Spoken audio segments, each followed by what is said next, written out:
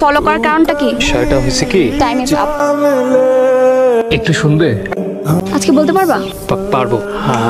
আমি পরের অংশটুকু ছুটির পরে শুনব। তারু আমি তোমাকে ভালোবাসি। তা এতদিন ভয় পাচ্ছিলে কেন? ভয় থেকেই তো জয়। আজকে অনেক কথা হয়ে গেল। বাই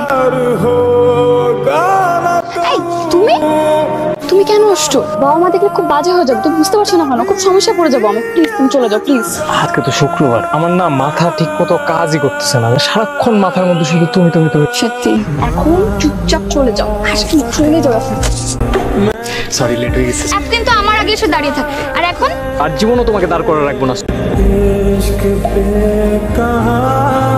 बस किसी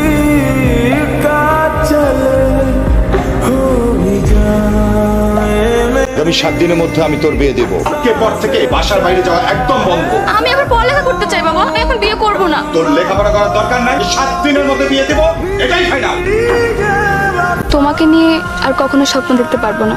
আসল তুমি আমাকে ভুলে যাও। আমার তো কিছু করার নেই।